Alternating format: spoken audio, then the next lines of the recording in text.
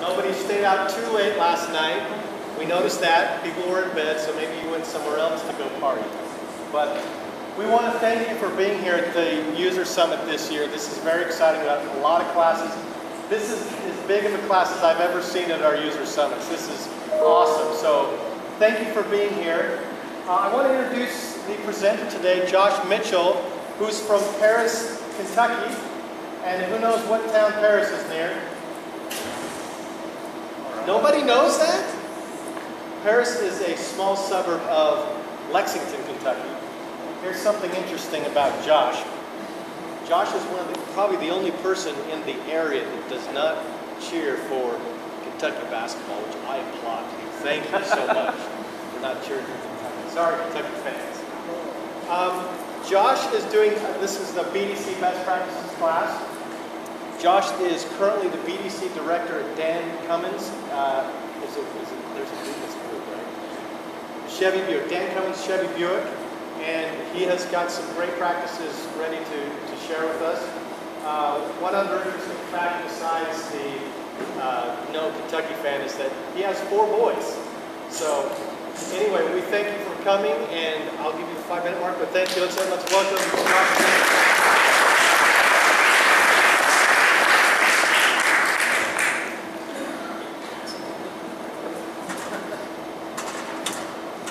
You know, when when Mike Kirk asked me to do this, I was pretty gung ho about doing this, and um, sent him a, an email two weeks afterwards, asking him to see what was going on with it. He said, you know, they haven't picked anybody just yet. So at that point, I was like, yeah, all right, you're not going to pick me. Um, and then Brett gave me a call and was very excited about me speaking, and then I had the old shit moment of I actually have to speak to people. Um, and so, um, to kind of give you a background about me, I am the business development director with Dan Cummins Chevrolet. Uh, we average about 1,600 internet leads, average about 3,500 phone leads a month. Uh, we sold 6,400, 6,142 in 2014. We set a goal uh, to hit that, and, and we went 142 over it. Um, we're averaging right now about 700 units a month. Um, in the month of July, we hit 710, and we're on pace for about 8,000 this year. Uh, we set a goal that's already set uh, to hit 10,000 cars in 2016. We are a single point store, uh, one location, family owned since 1956 in the lovely city of Paris, Kentucky. So I kind of wanted to give you kind of an overview, some, some kind of numbers that's really blurry, so I'm going to read them off to you. Um, this is kind of some numbers from 2011, back when we just kind of started the whole digital uh, marketing, kind of really, really getting better at it. It's actually when Josh Cummins and, and Dusty Cummins bought it from their dad, Dan. Um, we average about 11,000 leads. Um, 975 sold units out of BDC, about an 8% closing ratio. Um, in 2012 to 2013, we had 16,900 leads, uh, sold uh, 1,600 uh, of a 9% closing ratio. I came and took over the department as manager uh, in 2013, and we had 23,000 uh, leads. Uh, 3,100 sold units out of the BDC of a 14% closing ratio.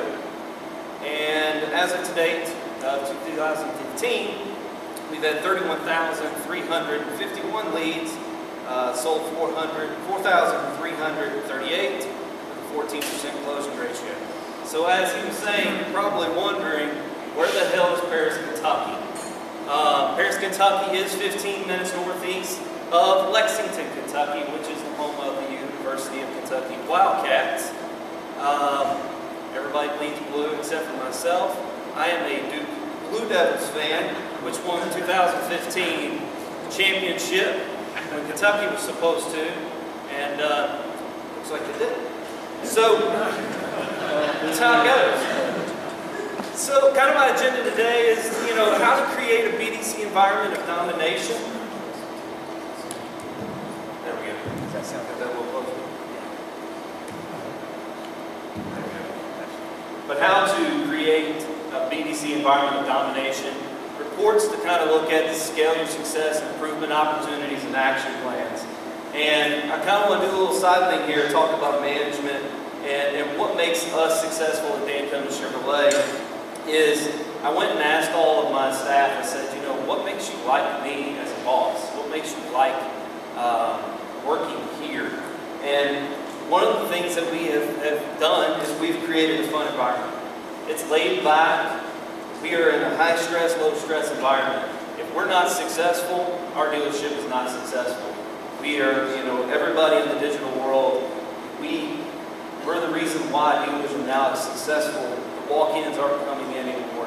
They're looking on the internet, scheduling appointments, getting things taken care of beforehand. And so I have a been there, done that, and I still know how to do it attitude. I can still pick up the phone. I can still answer a, a lead. Uh, I can answer a chat. I can do everything that they can do. And so I lead that by example um, because I've done that and I'm still willing to do it. I'll still pick up the phone. Uh, now I have the management title, so I feel like I have more authority now. And the customer feels that way.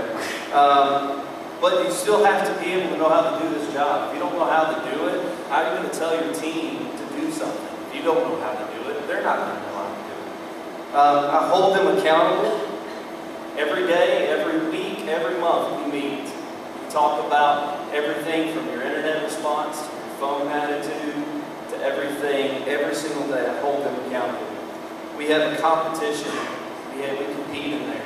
Everybody is um, wanting to be number one in there. We have a group that just hammers it every single day. They smack talk to each other. They get on each other's nerves.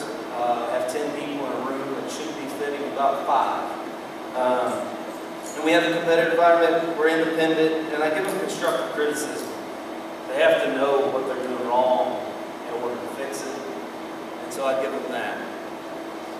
And so with training, you have to train every day, no exception. If you're not training them on the phones, you're not training them how to do what to do in an internet lead, what to do in a difficult situation, price call, appraisal, everything, they're going to fail miserably. And so they need to know the ins and outs of dealer socket um, and empower your staff with every tool. My, my BDC can do everything from their seat.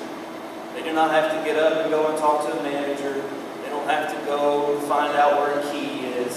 We have our key system at our computers. We have our DMS. We have every single thing that a manager would have. Each BDC member has that. So we need to empower them with every single tool and don't handcuff them. They have to run and talk to a manager every 15 minutes, go behind the curtain and talk to the Wizard of Oz. It's just going to, your customer's experience is going to go downhill. And so with training, uh, we have kind of a, a mindset. First, I do it. Then I do it with you, with your help. And then you do it with me, with my help. And then you do it on your own, and you teach someone how to do it. Dealer Socket is not a magic tool that will follow up for you. You put garbage in, you're going get garbage out. If you're not putting tools and, you're not putting notes and everything, if you're not putting in you know, the name, the cell phone number, what they wanted, what they looked at, what they asked about, their budget, their email, the date and time that they've called, date and time that you followed up, etc. It's a useless tool. And so you make sure that you you make a follow-up plan, make a commitment, be persistent, and make sure that you're disciplined every single day that you're in there doing that. And so I want to talk about, you know, internet leads. How many would you agree that time is money? You know, if you don't have a follow-up plan, you know, it takes 5 to 12 calls to make a sale. The problem, the number one reason why salespeople don't follow up they don't know how, and there's no direction. So here's a real quick video from Grant Cardone. These are the mistakes you're going to make in internet response in this digital space. The number one biggest mistake is slow response or no response. I mean, let's face it, 44 hours. If you hit 44 hours, if you respond in 44 hours, that is a no response. Okay? You can't even count that as a response.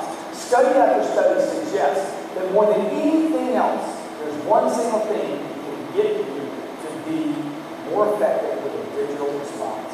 In fact, a hundred times better chance of converting a lead online. And that one thing is speed. Speed is power. Speed is certain. Speed. The first person there is the first person. First and foremost, you must respond to the lead. Uh, number two, you need to respond fast. 24 hours is not a response. You're not even in the same neighborhood or zip code with this person. They forgot you exist. First and foremost, you must respond to the lead. You must respond quickly. In earlier segments, I discussed that almost 50% of businesses do not even respond to a lead that they invested money on, that they searched for, spent time and energy to bring in, that didn't respond. One more proof, the reports of how fast response is, check this out. There's a 900% increase in contact rates when you can reach out to a customer in five minutes versus 10 minutes. 900% increase, okay? If at 10.02 at night I get a hit on my website, for instance, you come to Miami and you visit my offices there, every time we get an order, I hear this ding. Why? Because I want to respond to that order now, okay? I want to have my sales department call that order and see if we can upsell that order to more products. Because I believe in my products. I believe in my products, I believe in my company, and I believe in my customer. And I'm going to take care of it. Speed is power, okay? First one to market. Early bird gets the worm. Hit it hard, hit it fast, hit it often. Okay? I'm talking sales lady, I'm talking business, I'm talking about expansion. Five minutes gives you a 900% better chance of speaking and converting this customer. If you wait 60 minutes, your chances decrease 100 times. Look at six hours of toast. This is a monster opportunity. If you can get this speed in and make a commitment to speed, the average company takes 44 hours to respond. Okay? This is opportunity. This is a holy grail for you. This is that little space that Jack Welch of General Electric says, never compete in a space where you can dominate. And this is it. You know, it talks about 900% conversion. Make contact within five minutes. Is anybody in here in five minutes? Response time? Just have one? Okay. That's amazing. That's a great system. You know, we are, we're trying to get there. I might have to talk to him later. Uh, we're trying to get there. Right now, we're at about a 12 to 15 minute uh, response rate, uh, which is probably industry average. Um, but we're, we're looking to, to completely, you know, I've been honing in on trying to figure out what's that magic button to create that lead to get a response. Thank you for that. That might be that, that thing. Um, but our goal is under five minutes. I want, you know, we have become consumers of, of quick. We want everything quick. That's the reason why Amazon and like that is in business. We want to be able to order something and it's there. It's the same thing. When we put an internet, we put our information out there as a consumer, we want to hear back. If you don't respond back to me within 48 hours, I've moved on. I forgot about you. I don't even know what you're, I don't even know what you're calling about because I done figured out I wanted a different car. And so you have to to make sure that you're putting things in place. We have a filter into a socket uh, internet traffic and it's web leads, and we have a rule in my department that if 15 minutes it's not answered, it's free from taking. It means, and I've got hungry BDC members, they, they love to steal people's leads. Um, and so that means in 15 minutes, if they haven't answered it, grab it, take it, and answer it run with it. We pick up phone, text, email, phone, we do everything at that very moment. Pick up the phone, we're sending the socket talk, we are sending the email, and we're still on the phone with the customer, hopefully. Um, but you need to make, create easy templates that are trackable. You need to know when that customer's opened that email, so you can make sure that you're following up with them. If they've opened up the email, maybe a good time to make that phone call. Um, but the easy templates makes it easy to move quick, provide information, give options. They're looking at 2014 Silverados, you might want to throw a new one in there and ask for the appointment. It's a simple thing to ask for appointment for some reason, a lot of people fail to ask for appointments. Um, but ask for the appointment in the email. Okay? And so with the follow-up, we have created campaigns inside Dealer Socket to go different directions for every type of, of area. Unqualified, we've got an area that goes out 180 days, I'm going to switch to 360 days um, to go out and follow-up. On contacted and unqualified, day two that the lead comes in, I use a software called CoVideo, which is a video software that really works well with Dealer Socket, um, which Dealer Socket doesn't do well with video. Um, obviously with you. I don't blame you. Um, but it's a very easy system to use. But I have one that goes out day two that the lead came in and just asked the customer, hey, how's it going? Have your questions been answered? Can I help in any way? And it's amazing the response that I get because sometimes we have issues with spam filters and getting in those. This email goes out 100% of the time. And so I get a lot of response of how my internet uh, rep has handled the lead, or if they're not getting the answers they, they need. We have follow-up program, the follow-up for the demo and the write-up. You know, if we haven't sold the car, follow-up needs to still continue. Um, and so we have a plan that goes down that route. And then the sold. If anybody sells new cars, you know that the survey is a critical point for us. So we have on new cars and used cars, we have the sold follow-up. We have kind of uh, embedded into our sales guys' brains that a sale is not over, your follow-up is not over you've sell, sold them the second car. You create a consumer for life. At that point, you probably just continue to do it because it's embedded in your brain. And so you have to have the follow-up, you have to have the campaigns uh, in order to, you know, this one right here is just kind of my unqualified, it goes out three pages. We have, you know, activities, literature that goes out, go through Dealer Socket into the, uh, the portal where they have the templates pull some of their templates. If you don't know how to write a template, they've got thousands of different templates in there for you to, to create, to create follow-up for your consumers so you're not dropping the ball. You have some things going on in the background while you, may not be wanting to make that phone call. Uh, you might not want to be sending that email because you've been in debt vetting them with so much information. And so let the system do its work. Let it send some emails out for you. And then Socket Talk. Are you using it? Is everybody using it in here? And if you're not, why not? Why not? You know, I go to bed, I look at this. The first thing I wake up in the morning, I look at this. And, you know, I sold cell phones for Cingular Wireless back in 2002. In 2002 is when uh, text messaging just came out. And it was amazing how many consumers would, when I was trying to sell it to them, they were like, why would, why would I just call them?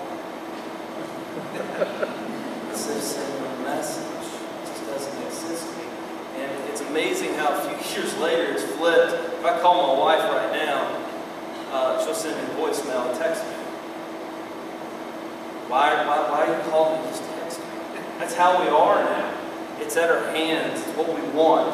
Um, here's a real quick video from Grant again about Text. texting. I've texted people as soon as they left and seen them return. I've called them before and I've texted them before. I'll text somebody a photo.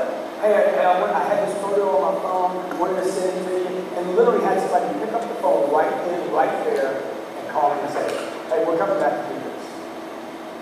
Why? Why am I late? The guy next to me said, you look, this guy I met.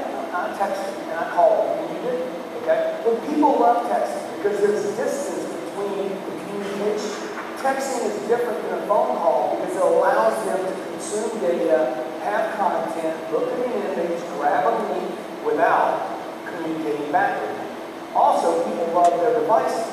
This texting is so underused by everyone, mostly because you as a salesperson or you as a company don't commit to getting that cell number. Number four, texting is easy, it's fast, everybody's comfortable. Five, use it for many things. You use it to do many, many different things, not just leave a message, but photos, images, links, videos. The sixth thing is, when texting, use information overload. You want to establish that you are there to provide tremendous amounts of content. There's also another benefit, benefit in texting in that this mobile device is actually kind of small. Could be hitting a tablet, but even tablets are small, which means the customer's got a lot of content. If this buyer, this customer, this prospect, this lead visits three different places and you're the only one that texting choices, information overload, prices, and down payments, and terms, and contracts, and possibilities, and other choices, who stands out? Who wins?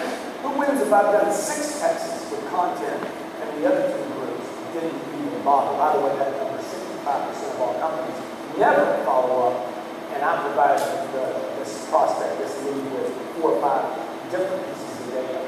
Always in the text, always make an effort to set up for the next level of needs, which could be video, in-person, conference call, go-to-meeting, in text. Avoid trying to do a. Avoid trying to do a deal. You're trying to keep communication. You're, you're basically moving the line. You're, you're greasing the wheel, the machinery. Okay, this text a grease in the machine to keep it moving. The purpose is to get a deal. Of course it is, right? The purpose is to get a deal, but we're trying to grease the lines right now, provide more information. Always stay professional, regardless of the customer's position. I have a guy on my phone right now. I can't get back here. I'm texting. Every day I text him, it drops off, okay? Boom, all of a sudden I get a text from on the fourth day. Be professional when texting. No buddies, no pal, no dude, no dudettes, no friend. I know you can tend to do this because basically texting can be a bit casual. You get lured into, oh, all of a sudden this is my friend. Not true. When you're selling, stay professional. Use the text. Combine it with the phone. You'll be great. So text, it's very simple. Know, use the information overload. You're texting a customer, text them all the information they want. Do not hold back any information. So long as dealers, we're all about we keep everything behind closed doors. We don't want to talk about payment. We don't want to talk about interest rate. We don't want to talk about this. Why not? The customer's going to get it either way. They're going to get it from you. They're going to get it from the other dealer eventually. So you have to be transparent. Just give them information. That's what they want. Makes their life easier, and that's what we're here to do, is to make their life easier, to make their decision to make a purchase easier. And so just use information overload. Um, in the month of July, we sent and received 27,000 text messages. In the month of June, we sent 28,500. Um, you can look at how many you're sending through the system stats report. Will show you how many how many you're sending per day. This will show you how many you received for the day, month. Um, at this point in time, we've used 6,913. Uh, that was the 10th of this month. And so we use it for everything, every single thing. We, when a customer leaves our dealership, they don't buy, they're getting a manager's text message. They're sending it right after they've left. And, it, and we've had customers turn around come back and go, you know, I'll do the deal. Because probably husband and wife are sitting there, they get this text message, they're arguing because she's calling him an idiot for not doing the deal. And so they get this nice text message from a manager, just asking if they can help. That's all it is. We've actually used the one where you forgot something at the dealership and I need to get it to you because they left 9,000 pounds laying on our, our showroom floor. So you have to continue to use texting in every way. Our sales staff, your managers, everybody, finance, everybody has to use it. And use Socket Talk because it's in the notes. It's crucial to have things in the notes because time and time again, we've had customers say, well, Joe said this in text message. Well, we with what Joe said. And if he sent it through his phone, using Socket Talk, we have no way of knowing because he's probably deleted if he said something stupid. And so this is a great report to look at. It's updated every day. Uh, you can see where you stand. Um, but I, I suggest you kill it with text message. Kill it with Talk. Just inundate your customers with messages. So I talked about response time. Um, this is a great report that I look at every single day, and I talk to my, my reps about it. uh, weekly and uh, having weekly, a monthly meeting uh, with them individually. Um, we talk about this report. Um, the reason why you want to look at this report is because you can see your adjusted response time for your after hours um, to see where we are. You know, if, if you're going for a 10 minute uh, ratio for response, you can see who's, not doing their job, who's lacking, find out why they're lacking on that uh, to make some improvements on what they're doing. And so this is a great report to look at every single day with every rep to see where they're at for the month, how they're responding, how quickly they're responding, and where they need to get better. The sales dashboard. Um, my, my BDC, they all have this report. They have the, the desking side so they can look at this report. Um, this is a great report for management. Number one, you can see how many phone ups that you've had. If you're not using Cardboard, it's a great software to use for your listening phone calls.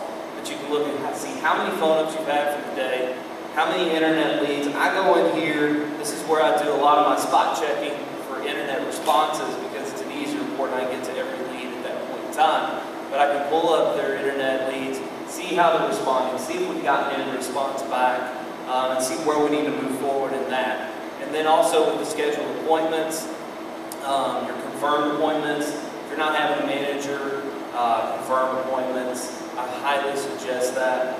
You get a lot of the junk out where they just set an appointment and it's really a ghost appointment. But you have to see your confirmed appointments, your show appointments, your no-shows, and go in there and look at that. And then you also have your show timing breakdown. So if you if you have a good follow-up program that you're doing, you'll start seeing more and more customers come back to you, and you can see how long it's taking that customer, how long they've stayed in your bucket before they've become a customer that has been a sold unit. So this is a great report to look at. I keep it up every single day. I have three screens, I keep this one up um, to look at, constantly updating for the appointments to see where we are. We set daily goals for appointments. If you're not setting daily goals for appointments, I highly suggest that on a Saturday, if we don't have 40 plus appointments, they, they, I don't like it very much. And so, set goals every day. You know that if it's a Tuesday or Wednesday, that's a little bit of a light day, so you need to set the goal at 20 or 30. But you're always pushing for more. So this is a great report to look at, to kind of manage your appointments, see where you're at for the day, and see where we're going. Then, what I consider the Bible, the BDC performance report. For us, this is kind of our pay sheet. This is how they get paid. This is how they do a lot of things. We manage this. First of all, you can look at your conversion rate, and you can see how many leads that person's getting to see. And I use this for arguments of adding more staff. Um, if I've got people getting 400 or 500 leads for that month, I know that they're they're way over their head when it comes to leads. And so you can look and see their leads, with their appointments scheduled, how many appointments that getting scheduled, and the percentage rate of that. Your no-show appointments. If they're setting 136 appointments and they've had 76 no-shows, you've got a problem. And so you can look at your no-shows, get in touch with those customers through there, click on it, see your no-shows, see if there was a response back, and finding out why they didn't show up, and, and go from there. And then you've got your BDC sold. Um, I have a BDC that is appointment setters, and their commission is off the sold unit and appointments that show up. And so it is very important for them uh, to see that and so we can see that we're getting customers in that are qualified to buy um, and that can buy, and our conversion rate from when we've gotten a customer there to when they've actually bought.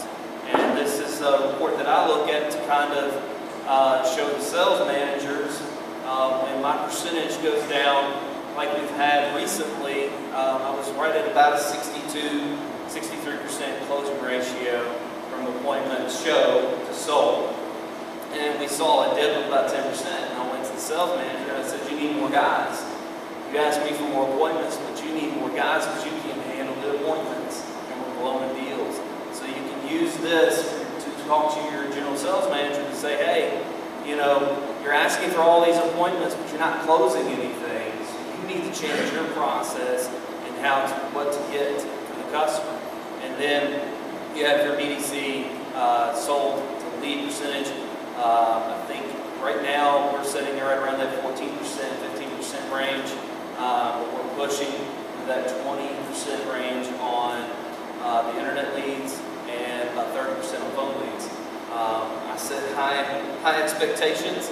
Um, if you're going to set, set records, might, might as well just set them high. And so, to, to create this BDC, to create this, this domination culture, um, it comes down to a couple different things. First off, you need to set goals, you need to set them high, and you need to have every BDC member that you have um, with, with them having your back. Um, we set weekly goals. You know, if I have a, a BDC member that says, I want to have 50 units sold at the end of the month. Well, if you say you want 50 units, they just they, they just crumble because that's that's a lot. That's a lot of cars. But if you have to set it to where, okay, if I need 50, 50 cars sold, then that means I need to make five appointments per day. Four of those guys to show up, and I need two of them to buy every single day. So you break it down to them small, so they can actually swallow what they have to do um, for the ultimate goal. Um, we uh, we put the BDC performance report every day. We post it up on the wall so everybody knows where they sit, everybody knows where they stand, everybody knows who's not doing well, and everybody knows who's doing well. And that creates the smack talk. Uh, I've got four BDC reps right now that are tied, and that created a lot of smack talk. We, we have created this culture of where if, if they're the top dog in, in, the, in the room, they get a parking spot. Which in a dealership that has about 900 cars on their lot, that can fit about 500 cars, to get an upfront parking spot is pretty cool and pretty nice. I don't even get that. And so we've created that to entice them to be number one, um, to get this nice little parking spot. We also have the Wheel of Fortune the Wheel of Fortune is if we reach our goal, I set a goal every month, an attainable goal, something that we can reach. And if we reach that goal, the top dog gets three spins of the wheel, and that's money go on top of their commission. The rest of the group, since it is a group goal, if, we, if somebody sells 80 units and we miss our goal by one, nobody gets to spin. And so the rest of the group gets two spins with that, and it's created this, this, it's a fun environment. They have fun, they look forward to spinning the wheel. They look forward to getting extra money. That's how you that's how we all are motivated in the car business is money. We like money. I like money. And so do your goals, but set unreasonable, unreasonable targets. When I started uh, in the Business Development Center as a manager in 2013, my goal was to hit 200 units per month. We had to hit it, were flirting that 180, and, and it was kind of my goal. And so we hit that, and as soon as we hit it, I said, all right, now our goal is 300. And everybody looked at me like, there's no way. We're doing the best that we can. And then we were flirting with 280, and then we killed it with 300. And then 2000, after we hit our 300, I actually had to go up again and moved it up to 400. It took us seven months to hit that 400 mark out of the BDC. I've got 10 reps. And um, we flirted with it for a long time. We were hitting that 380 mark, were hitting that 390 mark, and it seemed like an unreasonable, unobtainable goal. But as a manager, I pushed them every single day to get better, to get better on the phones. If they're falling off a little bit on the phones, I listen to phone calls every single day, spot checking.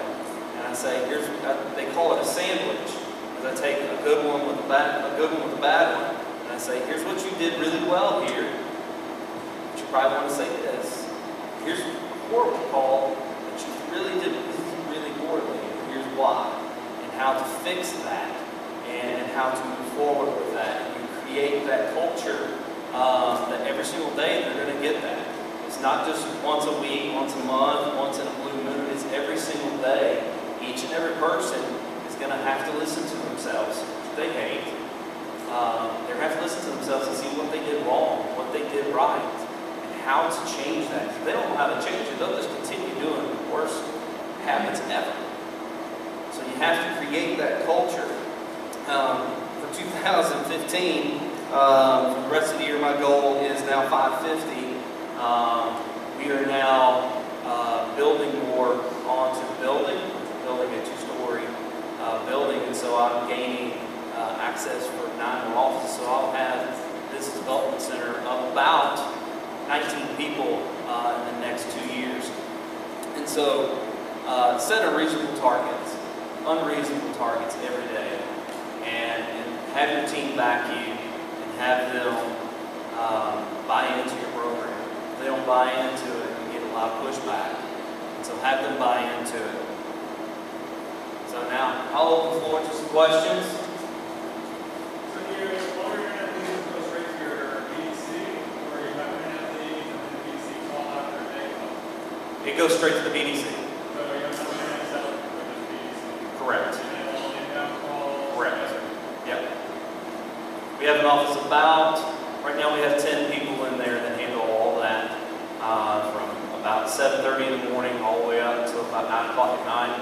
We even, we're closed on Sundays, I don't know if there's a lot of people that are closed on Sundays, but I have two reps um, at the end of, at- at- on Sundays. One picks from 8 a.m. to noon, the other one answers from 1 to about 6, um, just answers leads from home. And so the customer's getting a response during that time. We're not, you know, we, we used to, to leave it to the, to the guides and come in on Monday morning with 100 leads. Well, by that time, someone's already gotten to them, or they've already bought because somebody was open. And so we've opened that channel to, to filter those leads during that time.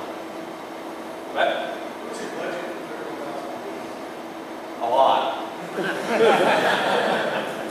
We're spending roughly, uh, to kind of give you an overview, we're probably, spending in the mid-twenties with Auto Trader, in the mid-tens, with Cars.com, uh, about six with CarGurus.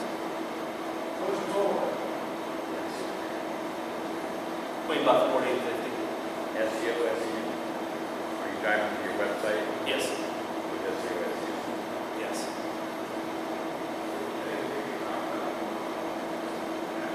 Yes, um, we are required, I have each rep required to do seventy-five calls per day.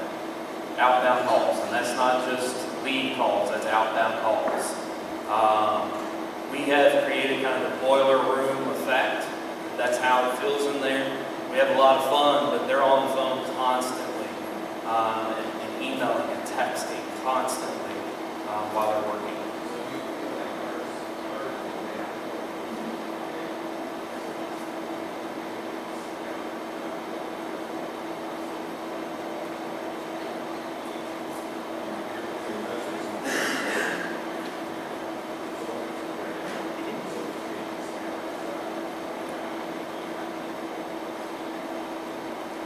I think if they that's my goal.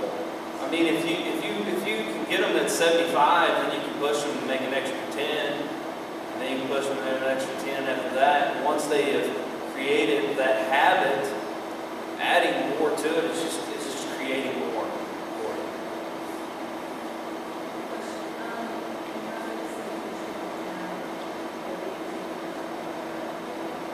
Oh, yeah, they did. Mhm. Yes. Yeah, when- a customer comes in, uh, sales guy will, will up them, they up the program. They up them, they come back to the BDC rep, the BDC rep says, so-and-so's here to look at this, this, and this. And they get up and they go out and they say, hey, Mr. Customer, this is so-and-so, he's gonna be taking care of you, he's my great salesman that I have. He's gonna be taking care of you, if you need anything, just let me know, I'll be here to take care of you.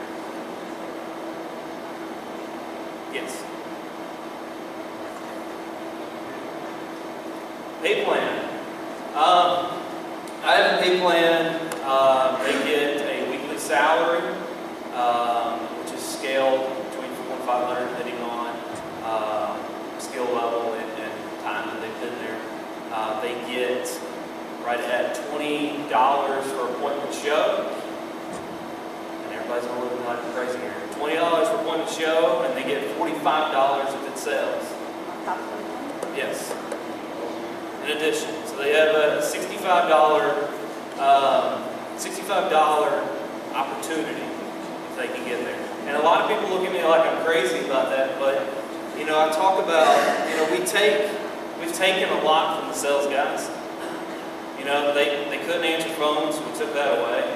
They couldn't answer web leads, we took that away. Some people are still on that system, you're not. But they couldn't answer the lead in time, so we took that away.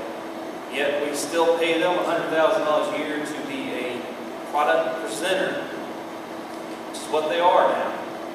You know, a lot of people have gone to one price.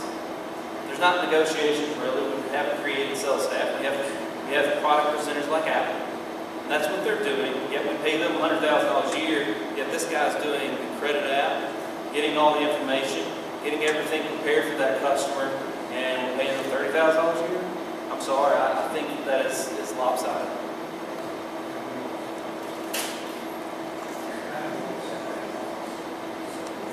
Sell more cars. I mean, we're in, a, we're in a small town. We're selling 700 cars a month, and, and, and in a town that's got 9,000 people. We're pulling from everywhere. Um, and so our internet department, you know, we're 65% roughly of the business that comes in, so it's justified. Oh,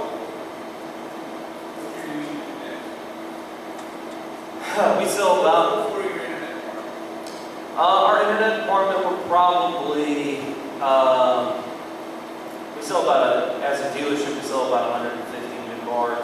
We're, of BDC is probably about 20 cars out of that with internet leads. We don't get as many leads on new cars, um, as we want. Um, and so that, that's kind of the reason behind that, lot of the leads that we get is on our new, our used inventory. Um, and that's been our focus the past two, or three years. Now, our focus is more on the new now, and we actually are changing our website um, from CDK over to a different site because CDK does a wonderful job of that.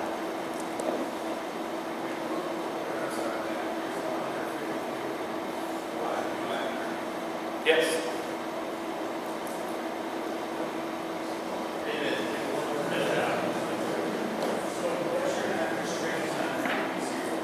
Average training time. Um, they're still training.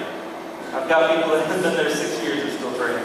Um, but to, to answer your question, we have a two-week classroom setting that uh, we have set up to, you know, it's, it's, from eight to eight. We go bell to bell, six days, and, they, they go through that training, and like a boot camp. So only the strong survive, and you, weed out the weak.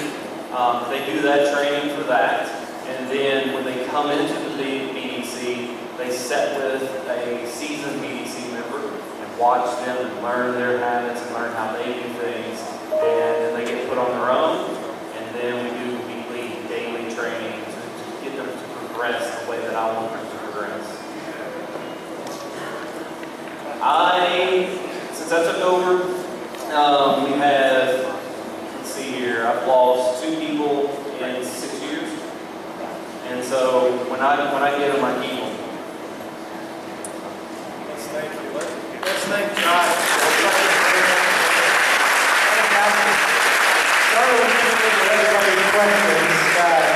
lot of questions, so thank you.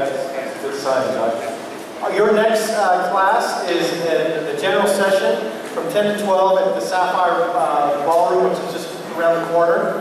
So we hope you attend that. And um, if you have more questions for Josh, if you want to just hang out for a few minutes or grab his email address. Thank you, Josh.